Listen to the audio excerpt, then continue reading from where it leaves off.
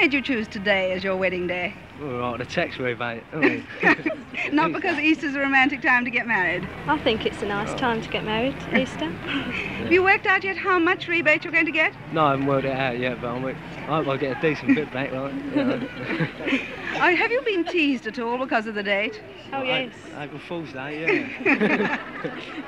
What made you choose today as your wedding day? Uh, well, I'm on leave, you see, Yes. and I'm in the army, Mhm. and um, this is the, the only time we can get married, you see. So it was going nothing back to Germany. to Germany. Yeah.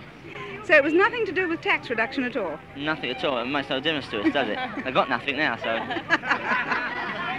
Why did you choose today for your wedding we day? get a long holiday. We get Saturday, Sunday, and Monday off, don't we? That's what we've done. and nothing to do with tax at all. No, nothing to do with tax. Tax doesn't worry us. We thought that we'd have it so that everybody can have Monday to get over the excitement.